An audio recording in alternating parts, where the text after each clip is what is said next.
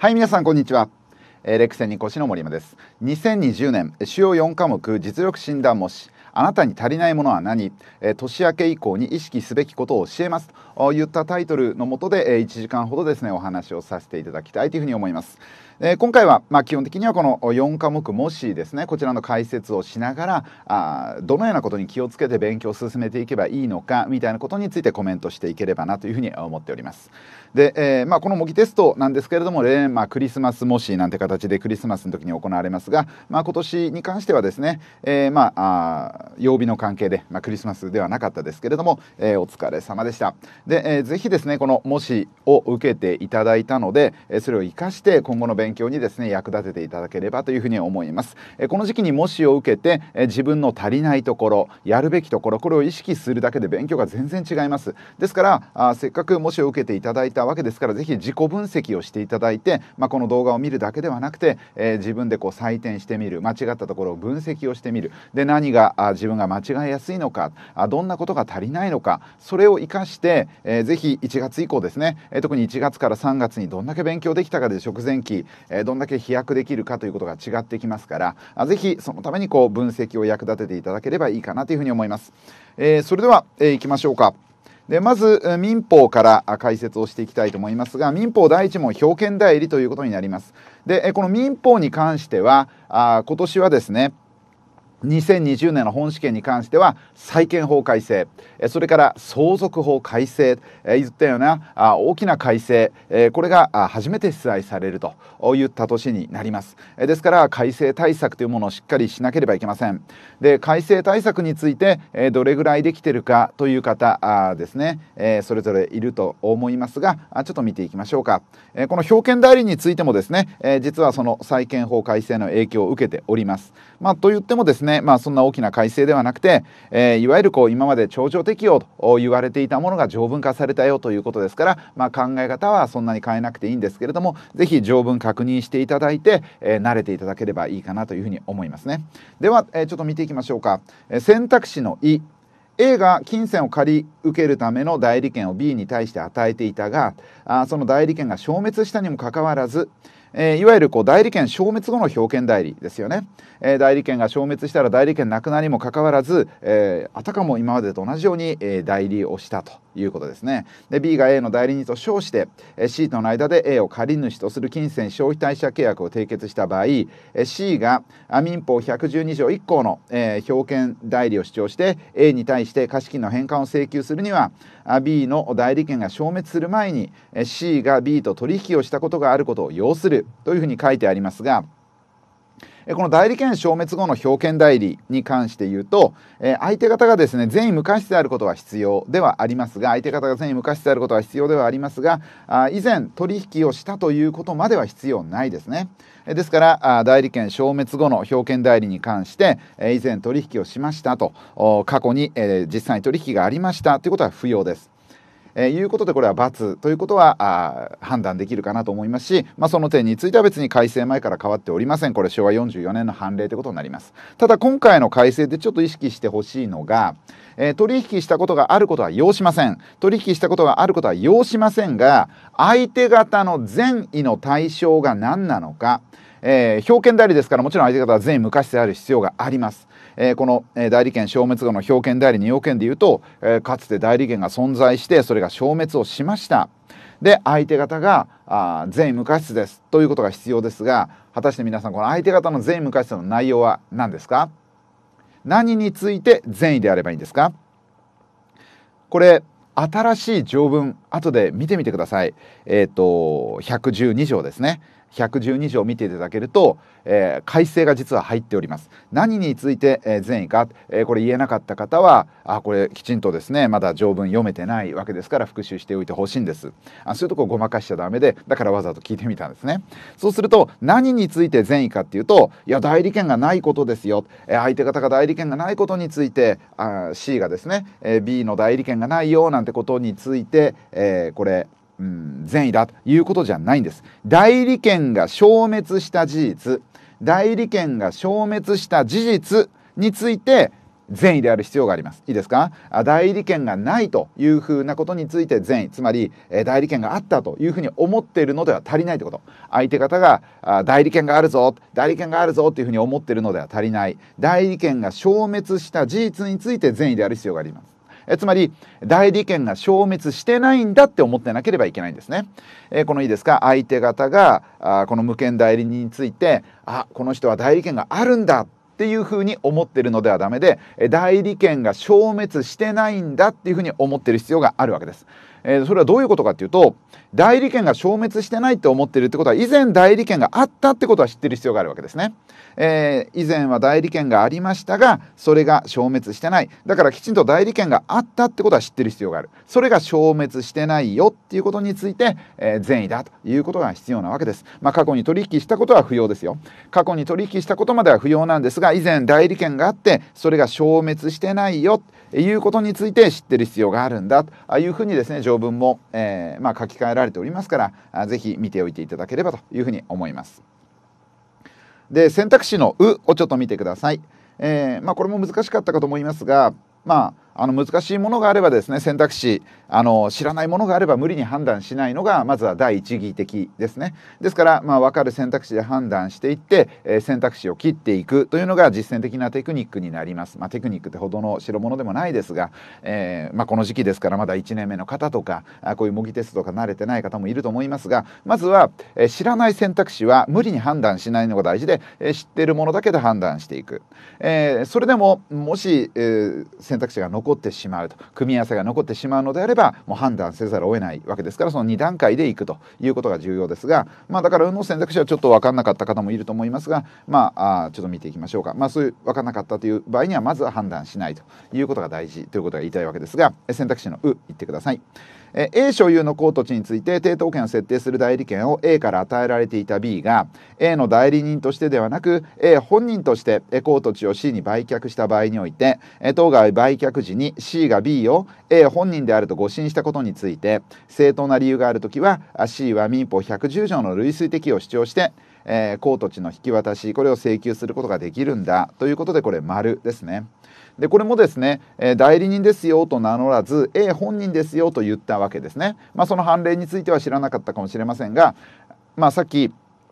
あのまず分かる選択肢で判断すると言いましたでもし2段階目でどうしても知らない選択肢を判断せざるを得ないとなったらもうこれはもう分からないわけですから確実な正解は取れないですけれどもなるべく当たるようにしていくということが大事なんですね。ですからこの「う」の選択肢で言うともし分かんなければ、まあ、こんなあですね判例を知らなければこれはしょうがないので、えー、本人として言ったらどうなるかということではあるんですが例えばそしたら件名のことを思い出していただければいいんです。えー、件名というのは A 代理人 B と名乗らなくたって A ですと言えば件名なるんですね。だったら A ですと名乗った場合も話は一緒じゃないかというふうに考えればあ A ですと言った時だって無権代理表権代理として、えー、成立させていいんだろう判断していいんだろうという推測が成り立つかなというふうに思います。まあこれはあくまでも推測ですから当日当たるか当たらないかはわからないですけれども少なくともこう当たる確率の方に、えー、当たる可能性を少なくとも多く持っていくといった努力は当日はしていく必要があります。えー、特に、えー、この午前の部などについては時間があるわけですから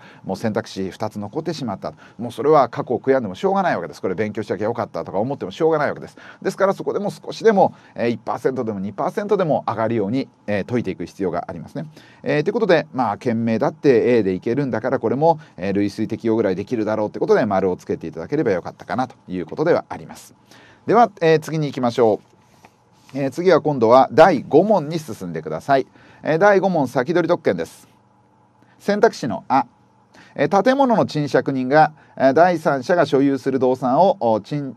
賃借建物に備え付けた場合、まあ、例えば建物を借りていてその中にこう家財道具入れてるってことですよね。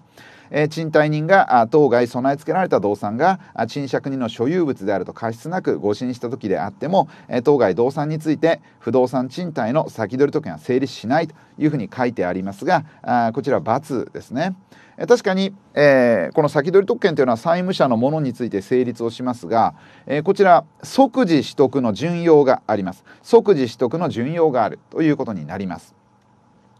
さあ、えー、即時取得っていうのは192条でですね、えー、まあ他人のものだったとしても税無過失で、えー、その専用を信じれば自分のものになりまあもっといろんな要件ありますがあということではありますが、まあ、それが実は先取り特権に準用されるということなんです。で、まず即時取得っていうのは、えー、その順用を除けばどの権利について整理しますか？これ所有権と知権ですよね。これもはっきり、えー、意識してくださいね。あのこれも基本ですよ。まあ、基本ではありますけれどもそういうのをいちいち思い出せるかどうかがやっぱり合否分けるわけです。えー、所有権と知権というふうにしっかり思い出していただいてただ一部の先取り特権には順用ありいいですか？即時取得は所有権と知権があまあ基本的には適用されるんだけれども一部の先取り特権には順用があるぞ。一部の先取り特権には順用があるぞということに、えー、押さえておいてください、えー、今回は順用されますからあ即時取得が成立をして丸ですね、えー、即時取得が成立をして丸ということになります。でえ、っとですね解説集の23ページを開いてみてください。でこちらに先取り特権の種類というものが存在をします。でこの中でえー、っとですね今言った即時とか成立するのはもちろん不動産の先取り特権でもないし、えー、一般の先取り特権というのものは総財産の上に及びますからこれも関係ないので真ん中の動産の先取り特権になります。この中で即時取得の順用があるのは上の3つです。この3つに関しては即時取得の順用があるぞというふうに押さえておいてください。これはあの上の3つが第一順位のものですね。これが第一順位のもの。ですから動産先取り特権の第一順位のものについては即時即の順用があります。で、え、ちなみに、えー、これですね。まあこれで見えますかね、えー、保存が第二順位ででそれ以外が第3順位ということになります。この3グループに動産先取り特権分かれますがこの中で即時取得の順用があるのはこの1番ということになります。え、この一番のものについては不動産の賃貸とこれが今お話をしているもので、え、不動産のこう賃料等について、まあ、大家さんが先取り特権が成立するぞ、え、例えば家賃を取りっぱぐれたらあその貸してる家の中に借年備え付けられた動産の上に、え、先取り特権が成立してそこから優先弁済を受けることができるぞって話です。でよく見ていただくとこの第一順位の3つっていうのはイメージ形が一緒なんです。で2つ目は例えば旅館の宿泊料ですがその旅館の宿泊料であれば旅館まあ、あの一番の大家さんと同じように貸してる部屋があるのと同じようにえそのいてもらってる部屋があるわけですね。えそこにある荷物ですよ。それから丸3番についてはあその例えば運賃等ですね、えー、旅客あるいは荷物の運賃、えー、について預かっている荷物がある。だからそれがたとえ他人のものだったとしても即時とか成立するんだ。このようなことになっております。ですからあそのですね大家さんが貸している部屋の中あるいはあそのホテルの部屋の中それからあその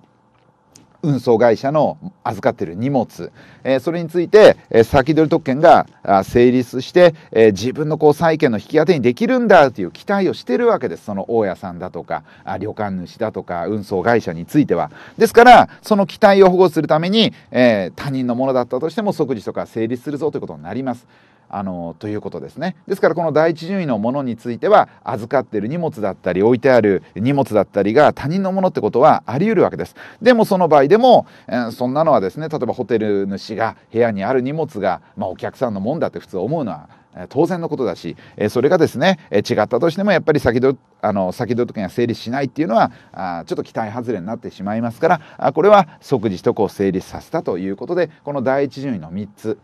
これですねこの第一順位の3つに関しては即時取得は成立するんだ即時取得の順用があるんだといった形で、押さえておいていただければというふうに思います。あのところでこれ動産の先の時ね皆さん全部言えますかね？あの特にこの順位分けはできるようにしてくださいね。第1順位が3つ第2順位が保存第3順位が他のものということになります。まあ例えば私はですねこれこうやって覚えてますね。あのえー、プーチン、まあ、ロシア大統領プーチン。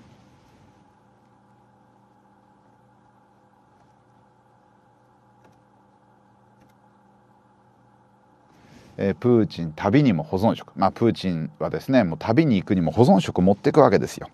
えー、で保存食、まあ、カップラーメンですね持っていくとどうなるかというと食べて太っちゃうんですねあの旅に行く時にいちいちこうカップラーメン食べてますからあプーチン旅にも保存食、えー、超えて、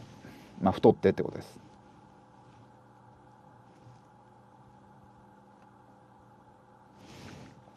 まあ、太ってしまったので、えー、こう恋人に売買されされてしまうわけですね。でそれがあ濃厚ですよと。うんとこうかな。えー、濃厚売買濃厚ということになります。えー、プーチン旅にも保存食超えて売買濃厚プーチン旅にも保存食、えー、太ってしまったから売買されるのが濃厚ですよと売買の可能性が高いですよということになります。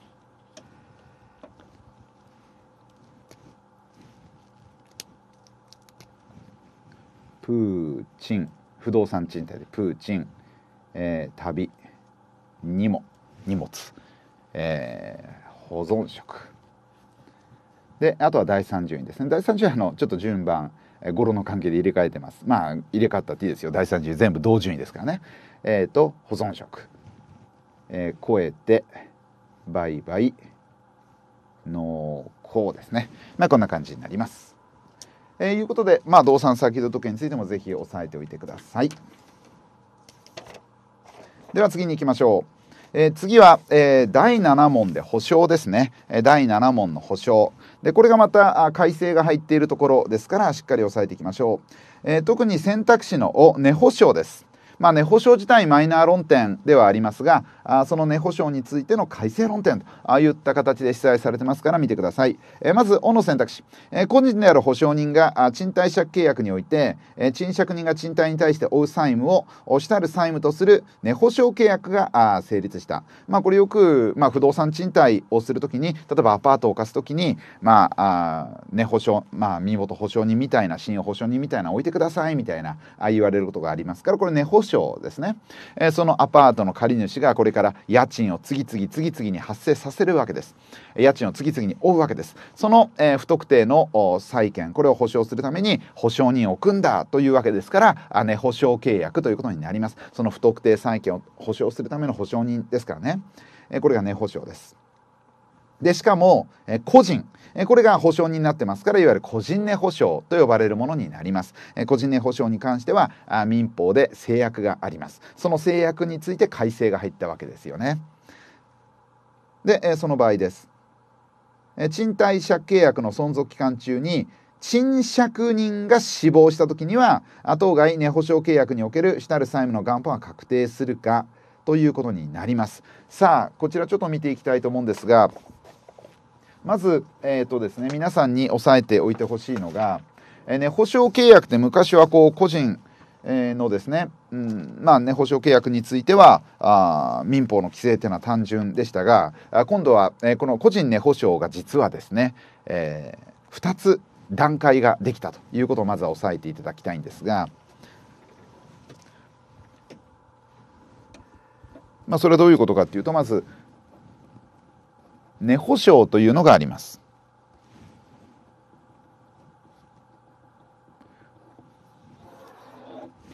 まあ、これは、えー、不特定多数の不特定の債務を担保するものがあ保証するものが値保証ということになりますがこの値保証の中で保証人が個人のもの保証人が個人のものを個人値保証と言います。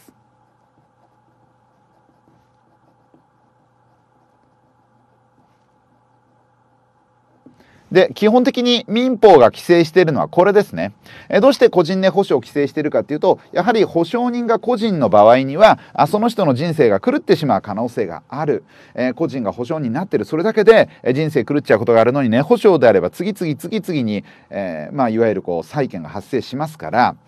えー、主たる債権が発生しますからそうすると「おいおいこんなに、えー、主債務があったら弁済しきれねえじゃねえか」っつって、えー、保証人が大変なことになる可能性が高いわけですよ。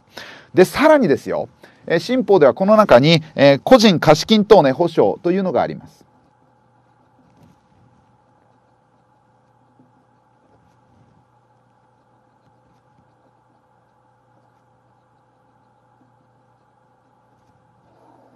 でこれは主債務が貸金等ですね。主債務が貸金等。主債務が貸金等。だから、え今回、主債務が、えー、賃貸借契約の、まあ簡単に言うと家賃ですね。だから、この貸金等じゃないからこっちになります。え個人値保証。で、えー、例えば A の B に対してこう貸していると。それを保証するために保証人がいるのであればおいおいあいつどんどん借りちゃって、えー、どんどん主債務が増えるじゃねえかってなりますからあこっちですね個人貸金等値保証はもっともっと規制が強いんです。だからこれ中に行けば行くほど、えー、実はですね規制が強いということになります。まああの個人値保証であればあまあ主債務が増えていきますから当然保証人は保護しますが個人貸金等値保証だとこれはもう主債務が貸金だから次々借りちゃうあの家賃だったらそんなにこう予想外には増えない可能性も高いんですが貸金等だともうより増える可能性がより高いわけですよね。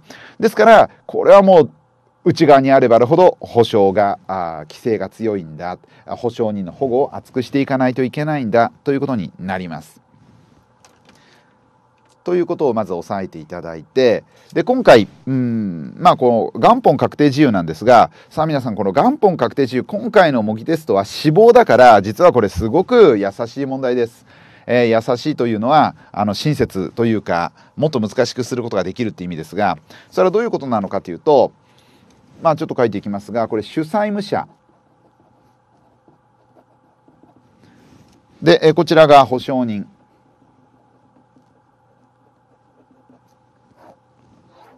これ元本確定自由っていうのはあもちろんそれ以降に発生した債務については保証しませんよというのは元本確定自由なんですが主債務者に生じたか保証人に生じたかによって多少扱いが違うんですね。で元本確定自由って基本的に3つあります。まあ後でゆっくり465条の4あたりを見ていただきたいんですが、えー、まあここでは簡単に書きますよ強制執行と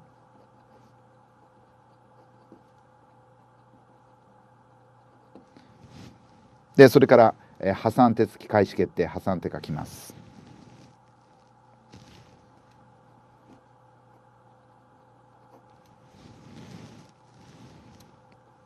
でそれから死亡と書きます。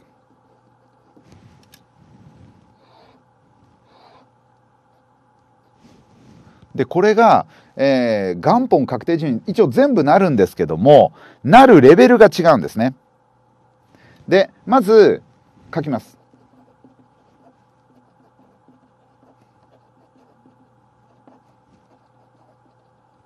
個と書いたものは個人値保証共通の元本確定自由なのに対して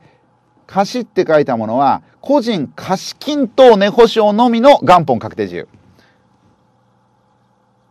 つまりこの一番真ん中えーと、主債務者の財産が強制執行された場合と主債務者が破産した場合にはこの個人貸金等値保証の時だけ元本確定自由になりますが、えー、それ以外は個人値保証共通の元本確定自由、えー、つまり主債務の強制執行主債務の財産が強制執行された場合と主債務の、えー、が破産した場合にはこれですね、えー、個人値保証全般の場合には元本確定実施しないんです。貸金等値保証の時だけ元本確定自由になってるんですと。いうことを押さえていただきたいんです。よろしいでしょうか。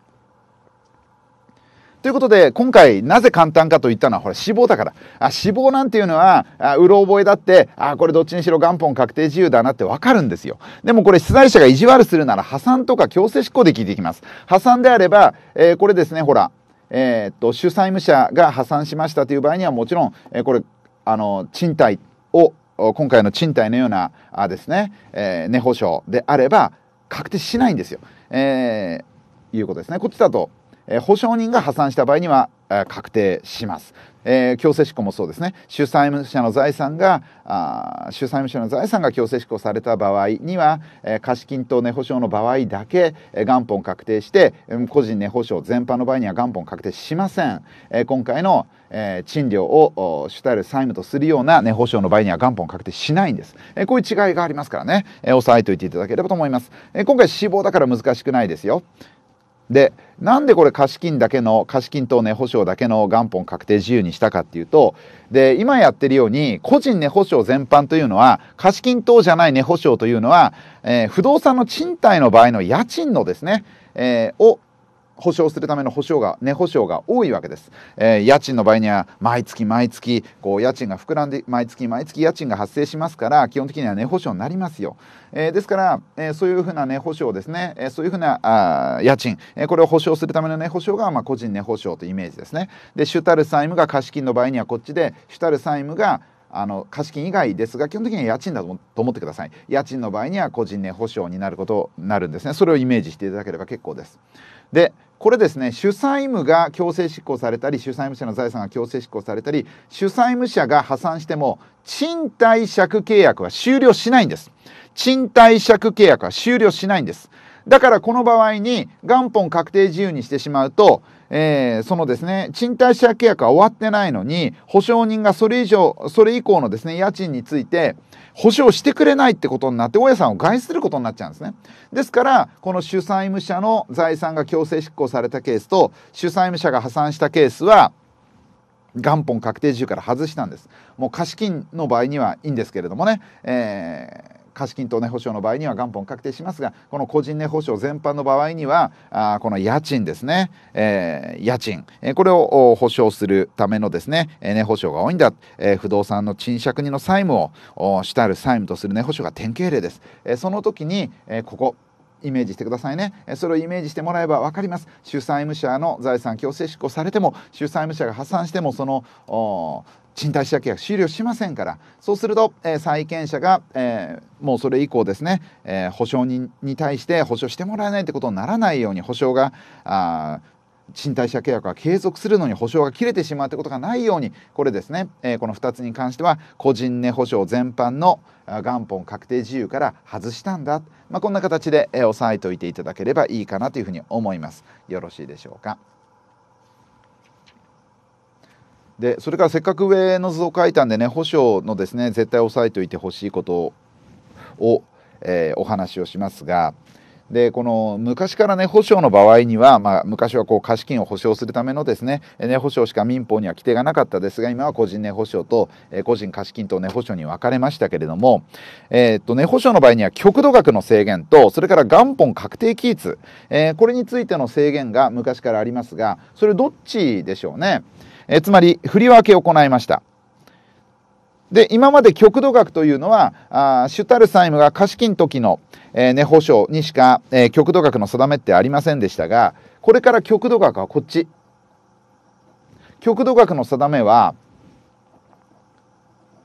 個人値保証全般の制約、えー、つまり極度額を定めておかなければ値保証契約についてはえー、これダメですよ、えー、ね、保証契約をするには極度額を定めておかなければいけませんよ。必須ですよっていうのはこれ、えー、個人貸金等値保証ではなくて個人値保証全般の規制です。になりました。個人値保証全般の規制になりました。それに対して元本確定期日は貸金等値保証だけの規制です。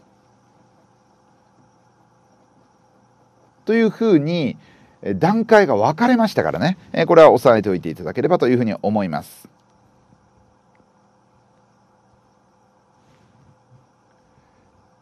まず、え極度額の定めを個人値補助全般に広げた意味は昔はですねあのこの個人のですね、え、貸金等の、ね、保証だけ民法に規定があったわけですがいや昔はこの貸金等だけ極度額を定めておけばいいですよ、えー、賃料をですね主たる債務とするような、ね、保証については極度額いらないですよっていうのが昔の民法でしたけれども、それはいや貸金等って再現ないよね。だから極度額を定めてある必要があるよね、えただ、えー、まあ、個人ね保証全般であればあ賃料なんて月々10万ずつしか増えていかないんだから再現がないとは言えないよね。極額なんか定めておかなくていいよねっていうのは昔の発想でしたけれどもよく考えると個人値保証全般だってやっぱり再現ないわけですよ。例えば不動産賃貸の値保証の場合だって、えー、不払い賃料が増加するだけではなくて例えば事故物件にしちゃって損害賠償額がもう山ほど、えー、負うことになったりだとかあるいは不動産を壊したりだとかで、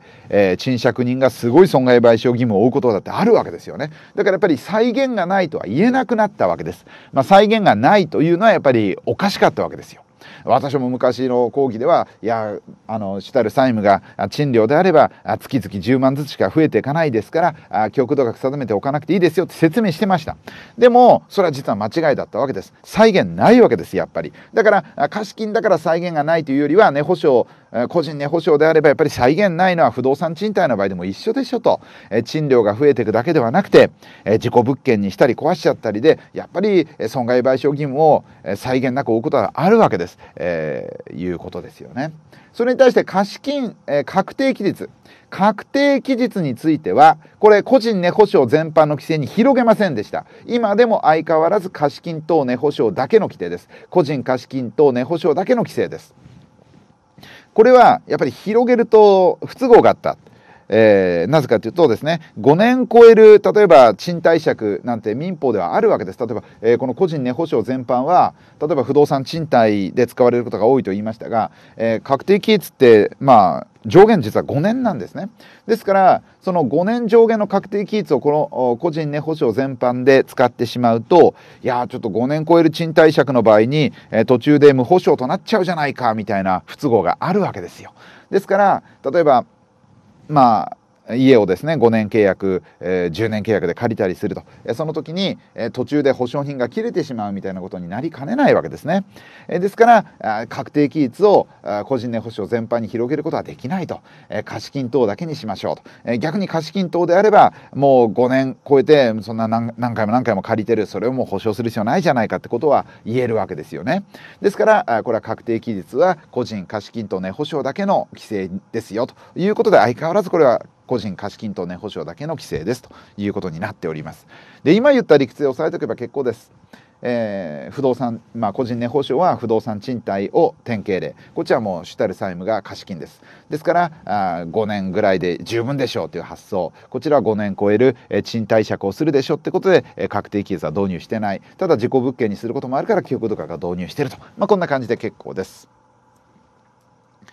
でまあ私も中中上級の講座とかで、えー、この辺りも改正論点としてお話はしましたが、まあ、こういう理屈はお話をします。でも理屈でまあ一旦は納得してもらうわけです。でも当日思い出せないと困りますから、えー、こうやって覚えてくださいね、えー、これ貸金等だからえっ、と確定期ですかかですよ。かか。貸金確定確定貸金確定、えー、かとかです。かとか。だから貸金等値保証だから確定期日の規制があると、えこっちもえここここ。個人値保証だから国土額。ここ。虚虚ですか？いやこでいいじゃないですか、え個人値保証だから国土額。という形で、えー、ここかっかって結びつけられるんではないでしょうか、まあ、理屈はちゃんとあります。今理屈お話をしました。でも当日理屈ってえー、瞬時に忘れることがありますでどうしても思い出せないことがあります極度の緊張状態ですからねですから当日思い出せるってことが重要ですから思い出せるように、まあ、こんな形で、えー覚えていただければいいかなというふうに思います。よろしいでしょうか。ということで、えー、このですね、値保証について、えー、まあ、改正論点がありましたのでお話はしました。では、えー、次第10問に行ってください。第10問。えー、実施ですね、選択肢の「を」を見てください、え女性が他人の卵子を用いた生殖補助医療により、え子を解体し出産した場合、え出生した子の母は卵子の提供した女性ではなくその子を解体し出産した女性である。ということでこれ丸ですね、え実際出生出産したら親になるわけですからあその親というものは出産した女性ですよと。母は出産した女性になりますよ。母っていうのはいつ、母親になるんですかって言ったらあそのですね、え、分娩の時になるわけです。ですから実際に分娩したっていうのはそのあの出産した女性の方ですから卵子を提供した女性ではありません。ということで「お」では丸ですね。ただこの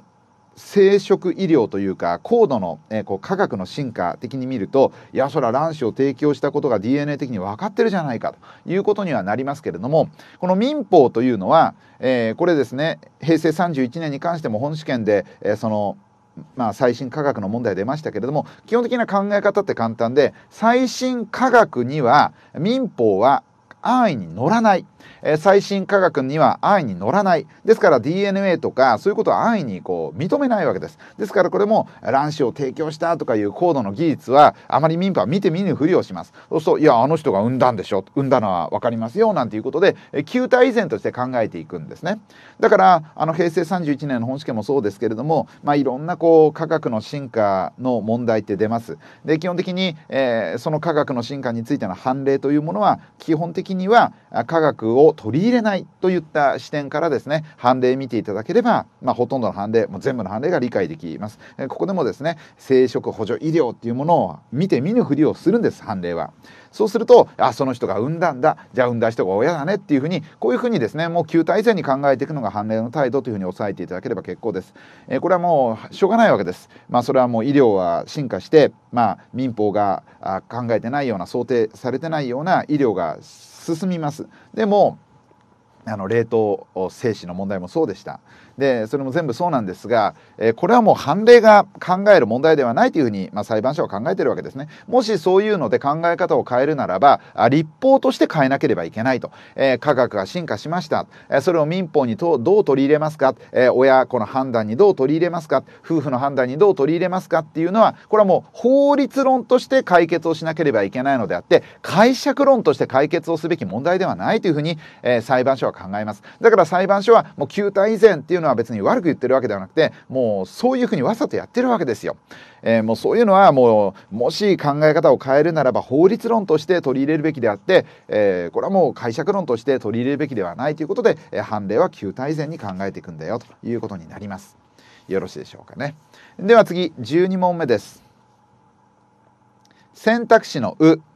え前の実質証書遺言で A を未成年後見人に指定し後の実質証書遺言で B を未成年後見監督人に指定した時には A を未成年後見監督人とする指定は当然に撤回されたものとみなされるというふうな問題ですが、まあ、これはま簡単な知識があって、えー、抵触する遺言をやった時には抵触する部分については後の遺言で前の遺言撤回したものとみなされます。ですからよく、うんまあ、教科書事例として、えー、遺言で A に公土地を遺贈しました、まあ、その後別の遺言書で B に遺贈しました。って時にはあ B に依存してるのと A に依存してるのは矛盾しますね抵触しますねってことで、えー、前にやった依存があ撤回されたものとみなされるんだあみたいなことをですね、えー、教科書事例としてよく載ってます。でここでも同じでえー、A を未成年後見監督人に指定しました。あその後の遺言で B を未成年後見監督人に、えー、再度指定しました。ああ矛盾するね。だから前の遺言が撤回だねみたいになるかっていうと今回ならないわけです。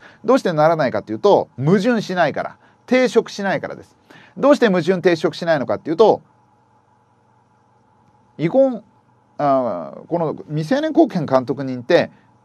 1人じゃなければいけませんよって知識がないからですよね。そういうことは皆さん勉強してません、え未成年後見監督人の人数に制限ないわけですから A を指定しました B を指定しましたっつったらあ両方指定されたんですね。2人になったんですねっていうだけであってどこも抵触しないわけです。もし1人だっていうんだったら抵触しますよ。だからこれはあのまあ実は抵触するかどうかって知識が聞かれてるんですが、まあ、未成年後見監督人っていうのは1人に限りますか複数でいいですかって知識が聞かれてると言ってもいいわけですね。よろしいでしょうか。まあそんな形で押さえておいていただければいいかなというふうに思います。でこの撤回の問題って意外と難しい問題で例えばあのそうですね、えー、売買しました。売買しましたって二重状態対抗要件ですよ。でも遺贈しました遺贈しましたっつったらこれ二重遺贈で対抗要件になるわけではなくて前の遺贈が撤回ですから、えー、前に遺贈された人がいくら登記したって後の遺贈には勝てないわけですね。これ対抗要件じゃないわけです、えー、無効な登記になるわけです。遺贈売買であればこれも撤回ですから、えー、売買の方が優先しますね。はい、あれ非相続人が遺贈してから生前に売買してるわけです。えー、この場合には売買が優先。売買されたことで、えー、矛盾する行為をしたよってことで前の遺贈が撤回されるわけですね。えー、ところがその非相続人があ売買しました。でも、えー、その後に遺贈しましたっていう場合にはこれ二重譲渡と同じ扱いになりますね、えー、後から遺贈したわけですから別に売買を撤回したわけじゃないわけですよ売買有効遺贈も有効いうことになります。遺贈と売買の順番だとダメなんですね。まあ、こんな形で意外と今回の未成年後見監督人の指定もそうですけれども遺言の撤回っていうのは理屈は簡単なんですが具体的事例で一度ちゃんと考えておかないといけない事例だろうなと思います。えー、このように矛盾するかしないか、えー、いうこととあとは二重譲渡にならないで撤回になるのかとあるいは撤回にならないで二重譲渡になるのかといったところをですねしっかり押さえていただければいいかなと思います。では、えー、次今度は会社法の方に行きましょう、え、会社法のところはですね、えー、まず第13問目、選択肢の「う」選択肢の「う」え募集設立において、え設立時株主はあ発起人に対してその有する議決権を統一しないで行使する旨及びその理由を通知することなく総理総会において議決権を統一しないで行使することができると書いてありますが、えー、これまあこれも場合分けがされてないのでそんな難しい問題ではないですがあのできませんから×できませんから×ですねただ、まあ、このレベルを超えてしっかり、えー、正確に押さえておいてほしいのが、えー、このですね不統一行使の論点なんですけれども、えー、通常の株主総会と総理総会でえー、このですねその理由をこう3日前までに通知しておかなければいけないという要件場合分けが違うということですよね。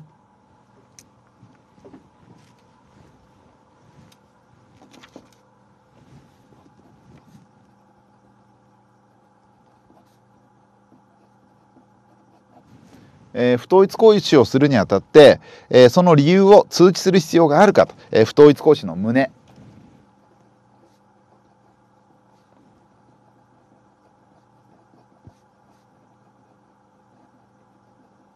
えー、その理由とそあその旨と理由。不統一行使をしますよって旨と、えー、その不統一行使をする理由、えー、これを事前に通知しとかなければいけないかというのは取締役会、まあ、取り会設置。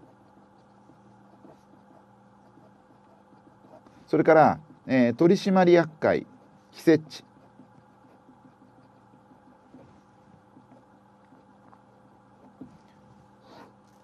これで違ってくるんですね。でさらに株主総会と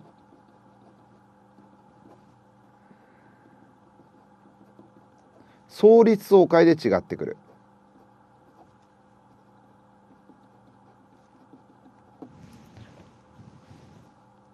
で株主総会は、まあ、多くの方勉強していると思います、えー、取取締役会設置会社の場合には3日前までに、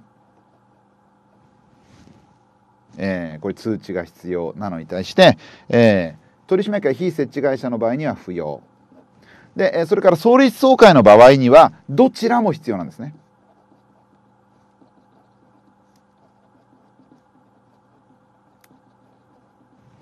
という違いがありますのでしっかり押さえておいてください。ということで創立総会必要です。創立総会必要です。えー、っと通常の株主総会であれば場合分けがあります。取締役会設置会社であれば必要ですが、そうじゃなければ不要ですよということになりますので、えー、しっかり場合分けをして、株主総会の場合には場合分けをして、えー、創立総会の場合には必ず必要といった形で押さえていただければいいかなと思います。よろしいでしょうか。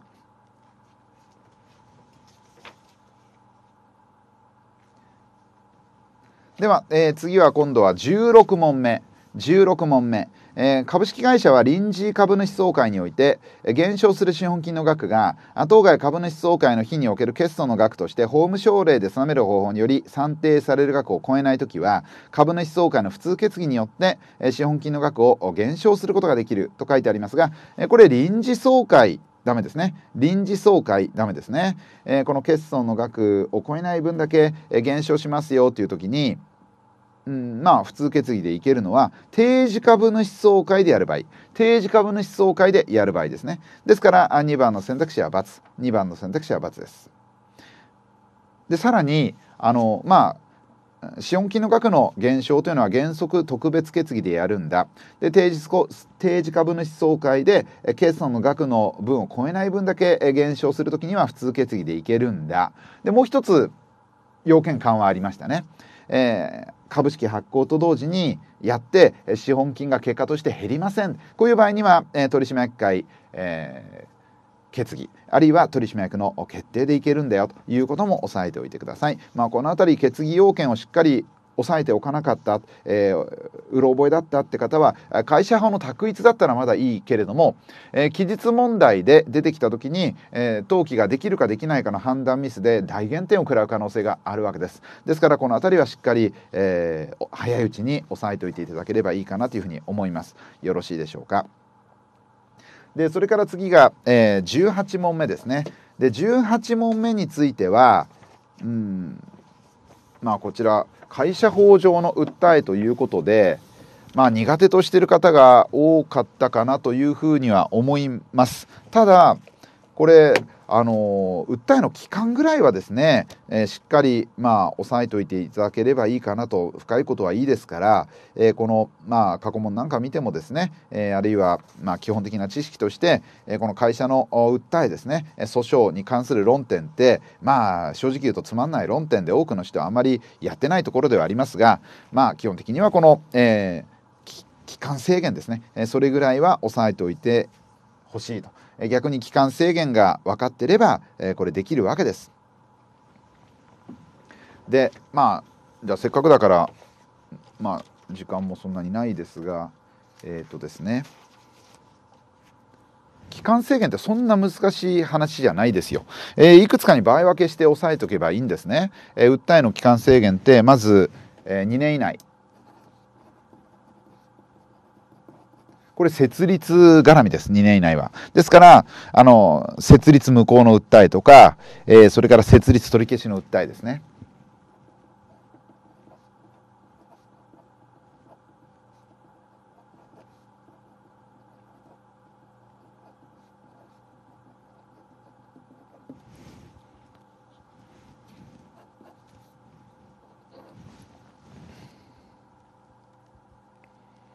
でそれから、え、次長いのが6ヶ月以内。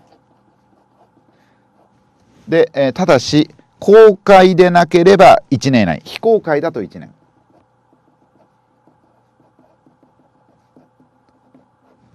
でこういうのがあります。でなんで非公開会社だと1年かというと株主が入れ替わらないから1年ぐらい認めてあげようってことですね。まあ、公開会社の場合には株主が入れ替わるから6ヶ月ぐらいしか認めないよって話なんですが、えー、これ株主が入れ替わるからといった通り株主株式関係ですね。株式関係だと、えー、公開会社だと6ヶ月非公開会社だと1年ということになります。株式絡み。だ例えばあ新株発行無効の訴えとかそういうやつですね。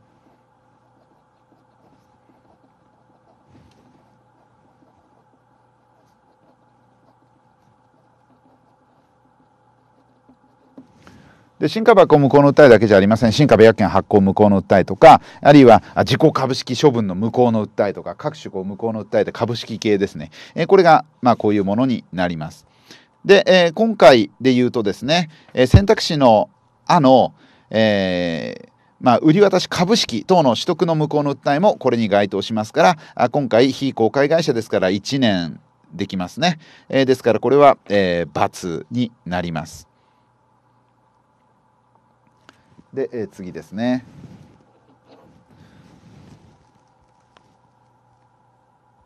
今度は純粋に6か月以内。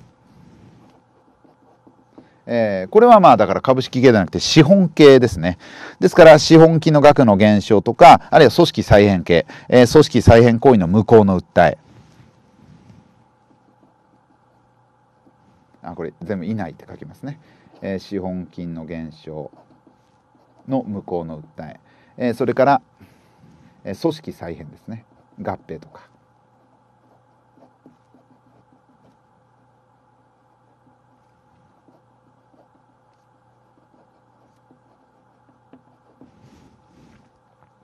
え、これが純粋6か月。で、えー、それから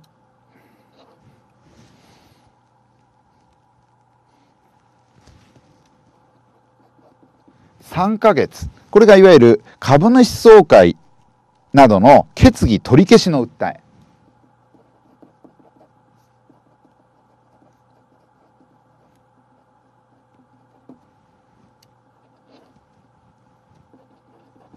でそれから期間制限がないものが、えー、これですね。確認の訴え系です。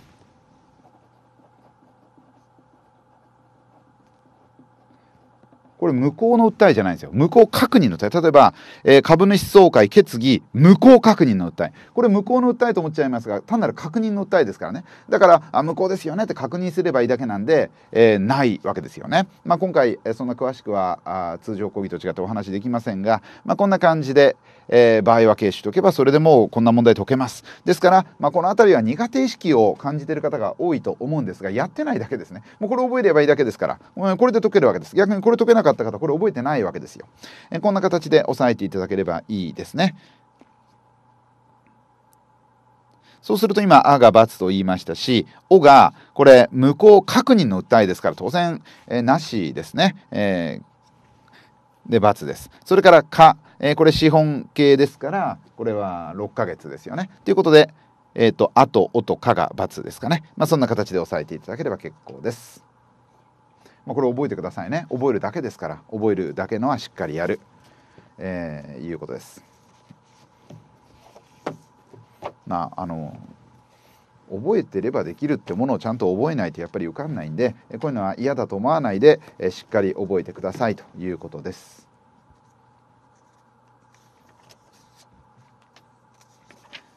で今度は、えー、22問22問、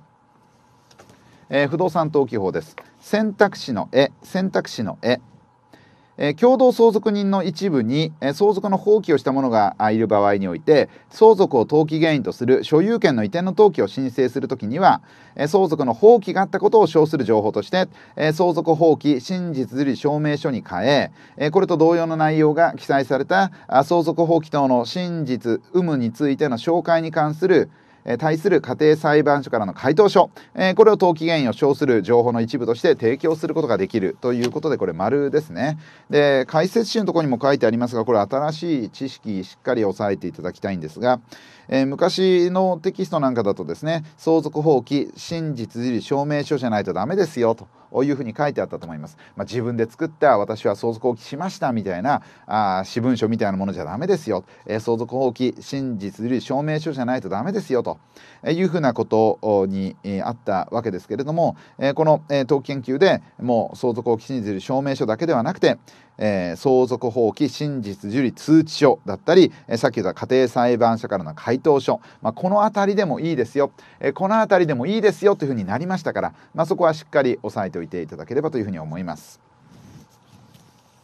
では次です。えー、今度、まあ、そういう新しい知識もしっかり押さえておくということですね。ですから、まあ、来年からやるべきことっていうタイトルでお話をしてますが、まあ、そのあたり、えーまあ、ちょっと知らなかったって方はちゃんと最新情報も仕入れていただいて、えーまあ、例えば新しい本使うだとか、えー、予備校の答練受けるだとかで、えー、きちんと最新情報については触れるようにしてください。まあ、改正だけじゃないんです最新論点っていうのは新しい判例などもあります。えー、では次です。で今度はですね、えー、っと26問目26問目。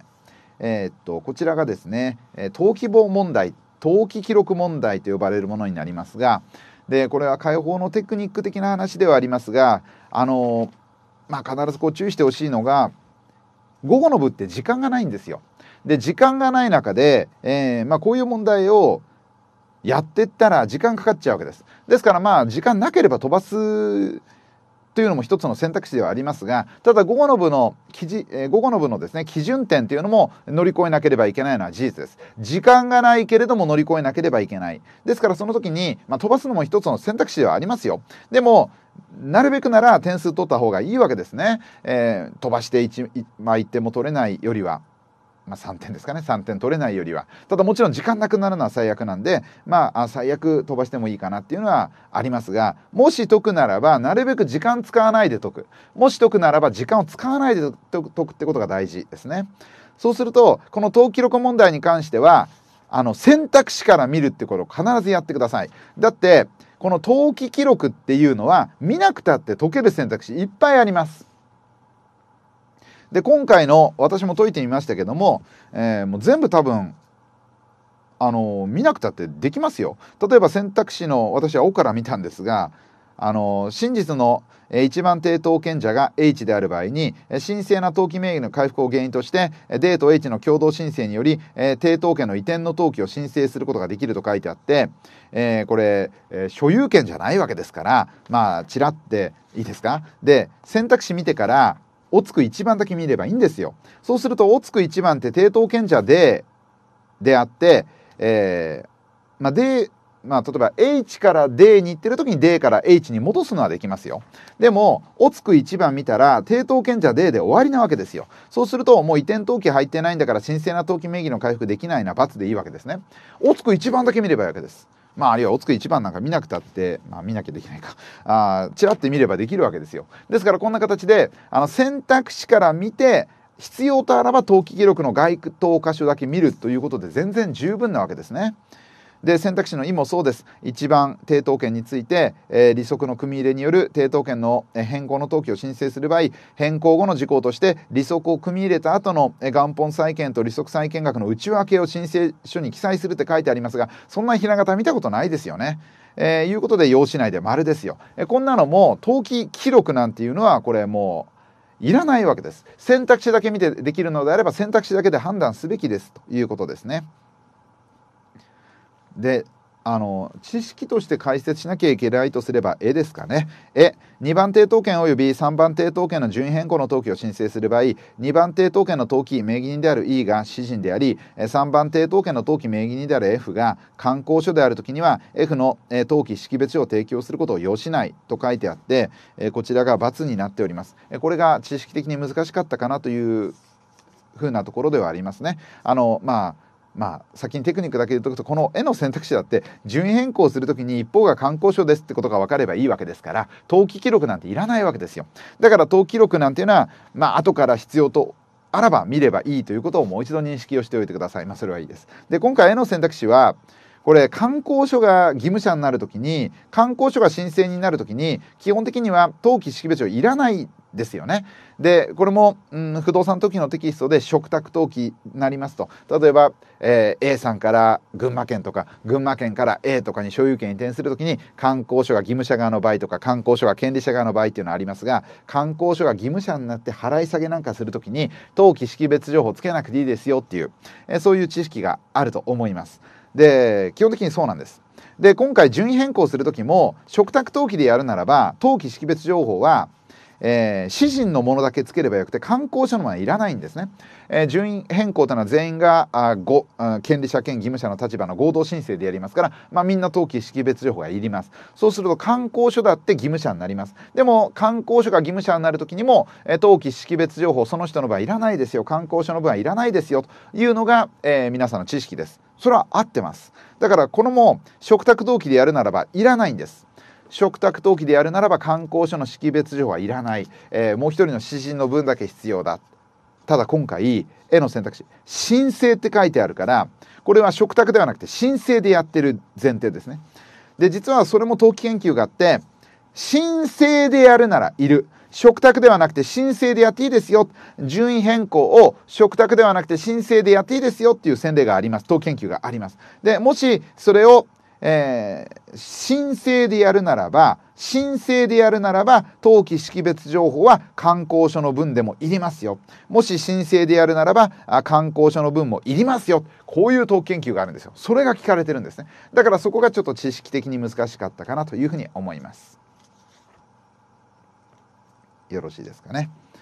で、えー、それから今度は29問目。29問目。29問目「お」の選択肢。えー、法人格なき社団を受益者とする信託の登記を申請することはできないで、えー、これ丸ですね、えー、法人格なき、えまあ、権利能力なき社団などというものは債務者としては登記できますが、まあ、確かに、えこう信託の受益者って良さそうではありますが信託の受益者っていうのは将来え信託が終了した時に登記名義人の候補になりますからね。これは将来の登記名義人だなんてことで、え権利能力なき社団はやめてくれと、えこんな話になっておりました。よろしいでしょうか。では次第30問目です。今度は商業登記の問題ですね。で、えー、選択肢の O を見てください、えー、株式会社は募集株式の発行等により、えー、自己株式のみを交付した場合、え募集株式の発行等による変更の登記を申請することを要しない。え、いうことでここは合ってますね。あの募集株式の発行した時には資本金が増えて株式が増えますが全部自己株式の交付をした場合には株式数は増えないし資本金も増えないんですね資本金って株式を発行した分しか増えませんからこれ資本金の増加の計算をしていただくと、えー、いわゆるですね、えー、自己あの新規発行新規株式を発行した割合がゼロですから、えー、資本金の増加の計算するときにゼロをかけることになりますからあ資本金増えないですね。そうすると株式も増えないし資本金も増えません。でこれが新株式の行使の場合だって、えー、全部自己株式で賄った場合には自己株式を交付した場合にはあ株式数は増えないし、えー、資本金も増えない。ただ新株約権の行使の場合には登記申請自体はいるんですね。ですから登記申請しなければいけないが丸です。どうしてかというと資本金は増えないし発行済み株式総数も増えないですがえー、その新株益が行使された分の新株益の数が減るしその目的である株式の数が減りますからね。ですから新株益の行使っていうのは株式が増えて資本金が増えてで逆に新株式の数が減ってその対象目的その目的株式の数が減りますからその減る減るって2つの分については登記必要なんですね。だから新株式の行使の場合には行使されたとすれば全部自己株式で交付した場合でも登記自体はいるんだということを押さえておいていただければいいかと思います。で31問目31問目選択肢の「お」仮取締役の登記がされている場合において株式会社が公認の取締役を選任した時は仮取締役の退任による変更登記を申請しなければいけない罰ですね。この仮役員というのは退任登記は職権でやります。つまり、えー、仮役員というのは人数足りないから就任しているのであって人数に足りる人数に足りる人数に足りる公認者の就任登記をすると職権で消してくれます。職権で消してくれます。だから申請をする必要はない。えー、仮役員の退任登記を申請する必要はないということです。えー、この仮役員ってだから申請いらないんです。就任する時にはこう嘱託です。だって裁判所が選ぶんですよね。裁判所が選ぶわけですから裁判所書記官から嘱託で登記してで辞める時には、うん、職権で抹消してくれるわけです。だから人数に満ちた公認者の就任登記をしただけで、え、抹消登記されますからあそこは気をつけておいていただければと思います。であの仮会計監査人。仮会計監査人。これは就任登記申請でしたね。これ裁判所が選ぶわけではなくて仮会計監査人は、えー、監査役などが選んでいきますからこれは会社からの申請になります。ただ気をつけなければいけないのは仮会計監査人。退任登記はやはり職権。抹消はやはり職権でやりますから退任登記は必要ない。仮会計監査人も人数に満ちた公認者が就任することで辞めることは職権、えー、登記が分かりますからこれは珍しく職権で抹消してくれますということを押さえておいてください。だからまあ仮役員と仮会計監査人がいて仮役員はあ選ぶ時には裁判所の嘱託辞める時には職権です仮会計監査人はあ就任する時には申請が必要ですで辞める時には職権ですまあ両方職権には違いないわけですね。よろしいでしょうか、まあ、そんな形で押さえておいてください。で最後35問目です。選択肢の絵一般社団法人の設立の登記の申請書には交渉人の認証を受けた定款を添付しなければならないがあ一般法人の設立の登記の申請書には交渉人の認証を受けた定款を添付することを要しないよって書いてある。これ交渉人の認証がどんな場合に必要か。えー、交渉人の認証がどんな場合に必要かといった選択肢の A ですが、えー、これはですね、えー、×いらない×いらない。交渉人の認証はいらないですよというふうに押さえてください。この定款に交渉人の認証を受けなければいけないか受けた方がまあ受けなきゃいけないか受けなくていいのかって問題がありますが基本的に受けなきゃいけないのって皆さんが試験勉強する時に出てくるものって基本的に3つしかないです。だからあの通常の株式会社の設立ですね。あの組織再編の設立とかではなくて通常の募集設立補記設立。えそれから一般社団法人一般財団法人の設立。それから司法書士法人の設立。これはもういります。株式会社の発起設立募集設立一般法人の設立それから司法書士人の設立。これは、えー、皆さんの勉強する科目の中で、えー、定款のにですね交渉人の認証がいるものはこの3つの設立です。逆にいらないのは持ち分会社の設立ですね。これいらないです。持ち分会社の設立。あとは株式会社でも組織再編としての設立。え新設合併新設分割株式移転による設立です。えそれから組織変更もいらない。それから普通に定款変更した時もいらない、まあ、そのあたりいらないです。だから株式会社の通常の設立一般法人の設立司法書士の設立えー、司法書士の試験範囲で、えー、交渉人の認証が必要なものをそんな感じで押さえていただければあと持ち分会社の設立なんかいらないですよ、えー、組織再編による設立も交渉人の認証いらないですよ、まあ、こんな感じで抑えられるかなというふうに思います。よろしいでしょうかね。ということで、えー、今回はですね択一問題を、えー、使って、えー、解説をしていこうということですから択一問題についてお話をしていきました。でえーとですねまあ、今回、うん、この模擬テスト、まあ、先に解説をしましたがじゃあこれから年明け何を注意していただければいいのかといったお話もちょこちょこと間には入れていったんですが、まあ、基本的には、えー、この模擬テストで出てきてまあ他の人ができるのにできなかったような問題についてはあしっかり復習してほしいんですけれどもその時に、えー、やってないのかやったけれどもうろ覚えなのかというところですよね。そういうのをしっかり認識をしてまずは自己分析をしてください。で自己分析をしてあこれができないよってなことをですね認識をしたらそこについては徹底的にこう復習をしていただければ、えー、思います。例えば民法が弱いっていうのであればちゃんと、えー、3月までに弱点補強しておく必要があります。であるいは不動産投機が弱いとなったならば不動産投機の例えば総論分野が全線点数取れないというんだったらあそれをきちんと3月までに弱点分析を取得弱点補強をしておく必要があります。ですから基本的に年明け何をやるのかって言ったら今回の模擬テストで皆さんの弱点があらわになったとしたらそれを必ず直前期に持ち込まないってことですね。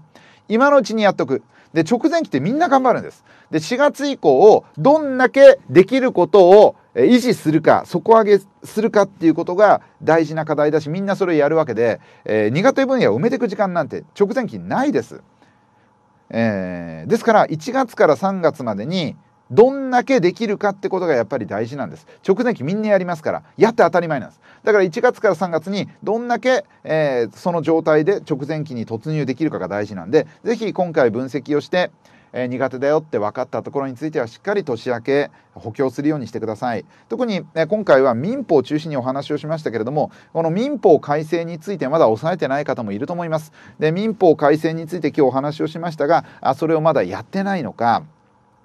やったけれどもまだ練習不足なのかってことまでちゃんと分析をしてください。で例えばですね年内に、えー、民法改正一通りやったよという方も多いと思います。でそういう方もまだ演習が足りないとか復習が足りないとか、えーまだ9法が頭から出てきてしまうという方はまだその新法の慣れが足らないわけですよね。ですから一度理解をして講義なんか聞きました。改正対策の本も読みました。まあそういう時期は終わりかもしれない。ですからこれから先はそれを定着させる時間になりますね。えそれを一通りやったという方もこれから先は定着させる時間ということになりますからあ問題練習をやる。例えば新作問題解くあるいは新作問題、えー、東連なんかで入手できます市販されてるものもありますそういうものでしっかり、え、民法については新作問題解くという練習もするようにしてください。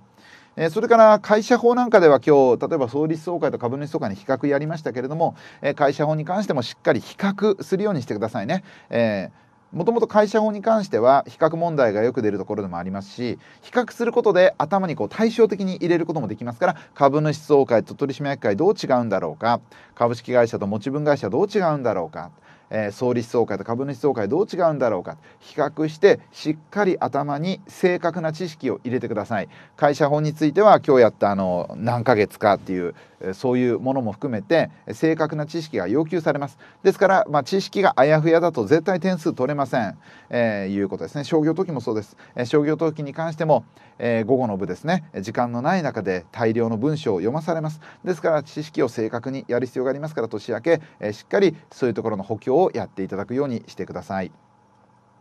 まあ、不動産登記も、えー、基本的には過去問と同じようなものもたくさん出ますからあ基本テキストだとか過去問なんかで、えー、特に総論分野なんて苦手な方も多いと思いますからあそういうところをしっかり、えー、やってください記述が出ますからねどうしても記述と共通する分野を勉強中心になっちゃう、え可能性が高いですからあ総論分野もきちんとまあ、手を抜くことなくやっていただきたいというふうに思います。ということで、えー、今回、えー、模擬テスト主要4科目について、えー、ちょっとめぼしい問題について解説をしていきました。まあ、今日やった問題以外にも非常にいい問題がたくさん入っております。えー、基本的な問題が入っております。えー、分からなかったところを中心に、えー、ぜひしっかり復習をしておいていただければというふうに思います。では、えー、この模擬テストを生かして年明け皆さんが飛躍できることを祈っております。ぜひ分析していただいて苦手を埋めていくって発想ですね。どうしても人間って得意分野をやりたがりますが苦手を目を背けないでくださいそのための模擬テストです苦手分野を意識するために模擬テストがあるんだというふうに思ってください、えー、この時期から模擬テストをやってみたっていうのは非常に有意義です。ぜひ、えー、その模擬テストやっただけではなくて自己分析に生かして、えー、年明けの勉強に生かしてください。それでは、えー、今回ですね、え私からあの講義ということは以上にしましょう。お疲れ様でした。